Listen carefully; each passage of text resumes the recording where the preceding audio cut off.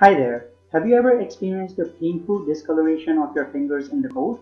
If so, you may have Raynaud's phenomenon. So, what is Raynaud's phenomenon? Raynaud's phenomenon is characterized by the constriction of blood vessels in the fingers and toes. This disease is also present in other less common sites including the tongue, nose, ears, and nipples. It usually occurs due to stress, emotion, and exposure to colder climates. Did you know that Raynaud's phenomenon involves multiple stages which is characterized through the changing colors of the affected areas? Firstly, the digits turn white which is associated with ischemia. Ischemia is defined as an inadequate amount of blood flow to a certain body part which can occur due to constriction or blockage of blood vessels. The affected area then changes to blue caused by the deoxygenation of the static venous blood followed by the digits turning red from the reperfusion of the area as the blood returns. The disease not only has multiple stages, but it also has different forms of the disease. There are two forms classified as primary and secondary Raynaud's phenomenon. Primary Raynaud's phenomenon is less severe and is not caused by an underlying disease. The severe side effects such as necrosis which is the death of tissues, and ulceration, which is the erosion of the skin, are not present. This is in comparison to the secondary Raynaud's phenomenon, which is associated with other underlying diseases. It is most frequently associated with scleroderma, which is the hardening of the skin and the connective tissues that can occur locally or throughout the body.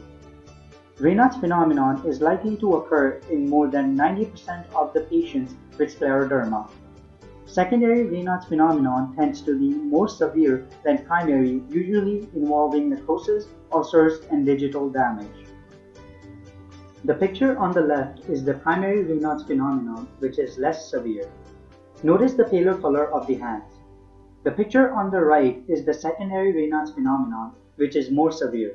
Notice the ulceration of the fingers.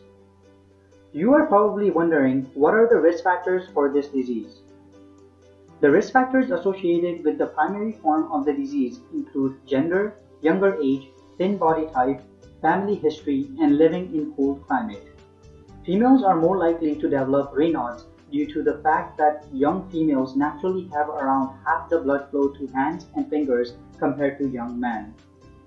Secondary Raynaud's phenomenon is predominantly seen in older patients with an onset of greater than 30 years old. Now we will talk about a theory that describes the mechanism for Raynaud's phenomenon. Researchers do not yet fully understand the development of the disease. We will discuss one possible theory. As it is still just a theory, this mechanism may be proven to be false in the future. According to this theory, Raynaud's disease is caused by the oversensitivity of the sympathetic nerves. Sympathetic nerves, a part of the nervous system, causes the constriction of the blood vessels. However, the exact mechanism of the Raynaud's disease is not fully understood.